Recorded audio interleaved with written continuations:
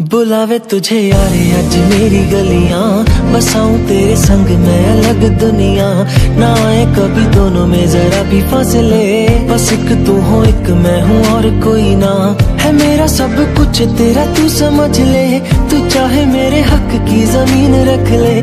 तू सांसों पे भी नाम तेरा लिख दे। मैं जीऊं जब जब तेरा दिल धड़के।